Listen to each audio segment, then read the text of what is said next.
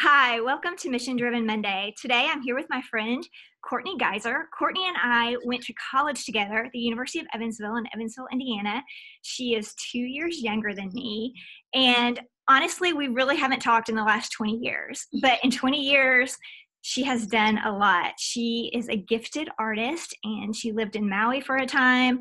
Now she's in Maryland, where not only is she a hairstylist, but she also works in a life crisis center uh, in Maryland, and she's really doing a lot to impact her community and really change the way that we talk about child abuse. Uh, I wanted to interview Courtney today just because I've been following her on social media, like we do for so many friends that are from our lives in the past. And I've seen what she's done, and I just love the message that she shares. I love the life that she's living, and I wanted to share the best of her with you today. So thanks for being with me, Courtney. Thank you so much for having me. This is exciting. You're welcome. So every week we ask the same three questions. Today is no different. And I'm going to start with our first question. Courtney, can you tell me about your proudest accomplishment? Um, yes. Well, I would say first and foremost, my proudest accomplishment is becoming a mom to my two beautiful daughters. Um, I'm sure a lot of people out there, as yourself, who are mothers, would agree that that's probably at the top of their list. It is um, a life changing thing. Um, with that came my what I would say is my second um, proudest accomplishment, which is uh, find, uh, being the founder of Pinwheels for Protection, which is a child abuse awareness campaign that I started here locally in Salisbury, Maryland. Um, uh, after a traumatic experience that my family went through, um, I realized that I could not change what had happened to us, but what I could do is raise awareness for other people um, look for signs, look for um, things that uh, maybe they wouldn't have thought to look for and faced with a situation like we were. Um, Back to Pinwheels is a, um, like I said, a child abuse awareness campaign, and what we, um, our goal is, is to just empower uh, victims to become survivors, to get the word out there in schools in the community that um, it's okay to talk about uh, child abuse. It's okay to tell if you you or somebody else you know is being abused. Um, that there are resources out there that can help you, and um, we want people to be connected with those resources.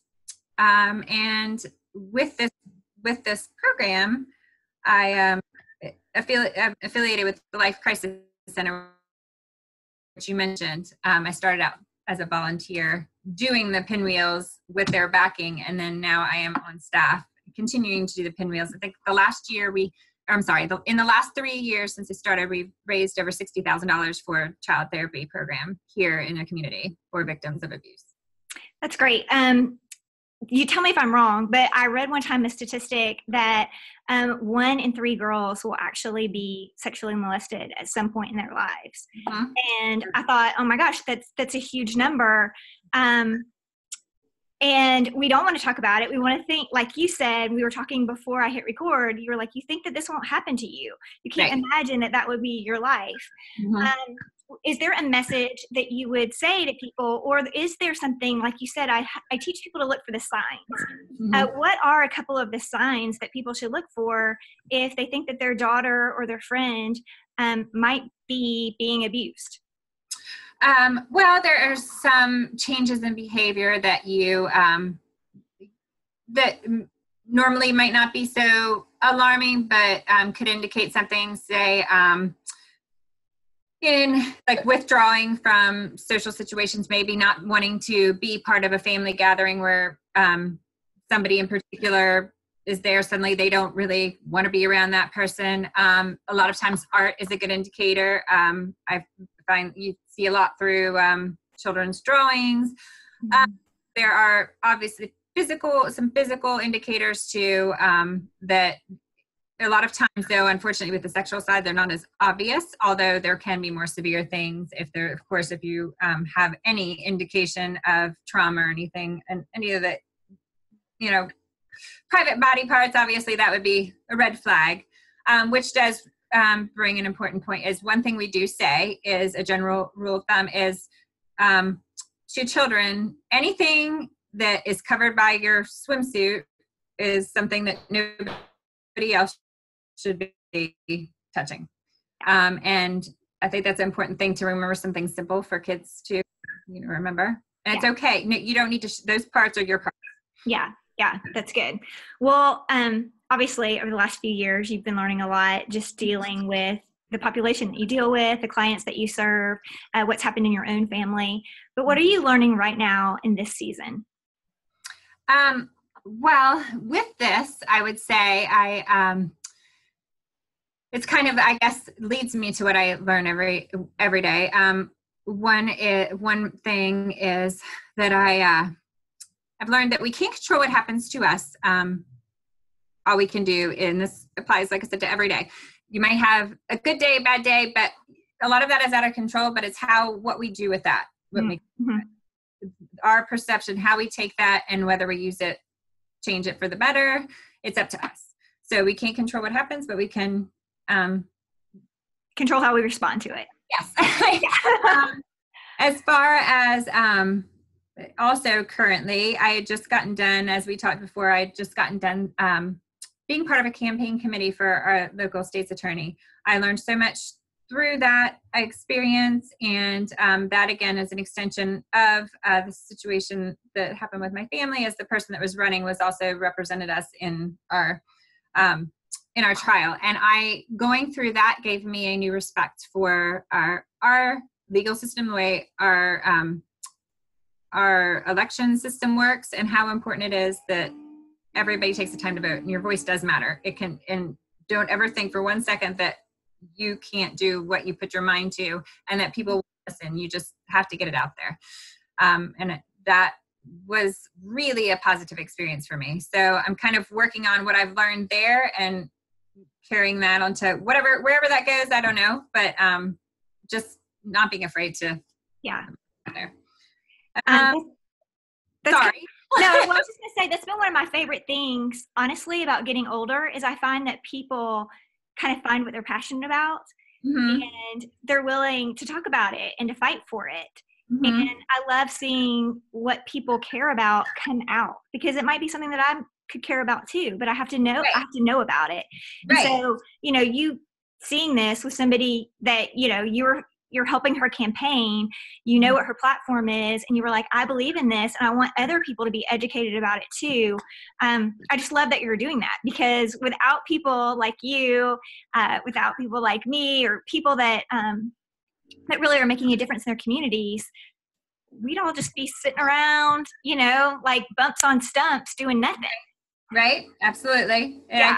when you when you the key like to what you just said is when you see something that you truly believe in it's not it's not hard to get behind it. It's not work. And that's what i found with this whole situation is nothing when i come every day to work it's it's it's because i believe in what i'm doing. It doesn't feel like work. And that that's the key. I've heard that before. Like once you find your passion mm-hmm.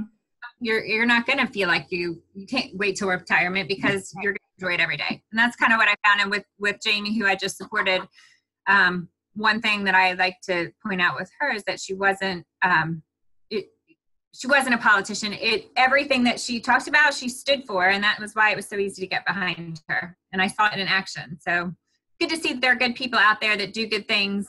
Yeah, just because they want to do good things. yeah, yeah, I love that. I love that. All right, last question. Courtney, I want you to tell me about your aspirational self. Uh, when you look into the future, and we talked about this a little bit before we went live, you know, we talked about how when we look back, we see, oh my gosh, I've done all these things, and looking in the future is so much more difficult. But when you look into the future and you see the future Courtney, tell me about who you see. Who is it that you want to be? Um, I would say that I want to continue to um, continue to be passionate about life in general, whether it be um, you know, go, getting involved in whatever my kids are doing at the time in school, whether it be um, developing a new project, something for life crisis, or getting on another campaign. I just I want to continue to wake up every day feeling passionate with a purpose, um, big or small. It just is a good feeling. Um, I I would like to say that um, I would continue to um, I wouldn't have, if you had asked me again 20 years ago, if I had been able to handle something some of the things that have affected me, I would have said no way would I have reacted the way I did. Um, but I am I it has been such a learning experience that I hope that it brings me to a point where in the future I know that I can I can react with strength and I have the ability to handle it. And um, how you do that, I don't know, but at the same time that I can do it. I, well, I think that's one of the most important lessons. Yeah. yes. Um, and I guess one uh, the last the um, last thing that I would say is that um, I would hope that it, no matter what the message is that people get from either pinwheels or um, just as the the way if a lot of people have asked me how I handled um, the situation with my girls from a parent perspective or a mother perspective, I would hope that whatever I've been able to to explain to them makes a difference and to continue to to have that personal touch with people going forward. So mm-hmm. that, and be approachable so that it or that message never never dies. I mean hopefully will help somebody else. Yeah. Yeah um, you know, it's one thing to be passionate, eh, but it's another thing not to run over people in the process. And it sounds like you have a good balance.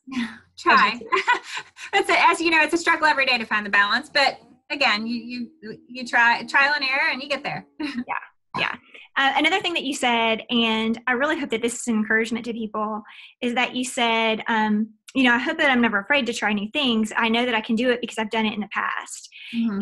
And that's such an important thing. I think it's such an important lesson that sometimes we're afraid to try new things because we're afraid that we'll fail. And maybe we will, but mm-hmm. more than likely, no, whether we succeed or we fail, we're going to learn something. And so the next time that we try it, we go, okay, I know I can go a little bit farther because I've already gone this far.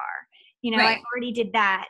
Um, there's so many things in my life that I I would have never thought that I could do, but now looking back and I'm like, oh my gosh, I did that. I, right. I did that once, so maybe I can do it again. Yes, and you can take what you and if you do fail or the mistakes you do make, say, okay, that's something I'm not I'm not going to do it that way again. But now you know, and your wiser going into it, and next time you do it, it's going to be that much better. And um, just don't be a, a, kind of in a nutshell with everything. Don't uh, with the sort of the motto behind the pins for protection. Just break that silence, whatever that means. I, you know, as far as, but just in general, break that silence. You passionate about something, do something about it, get it out there. Yeah. Yeah. Well, that's great. Courtney, thank you for being here today. Just a little fun fact Courtney is actually uh, the roommate of my sorority little sister. Yeah, that's right.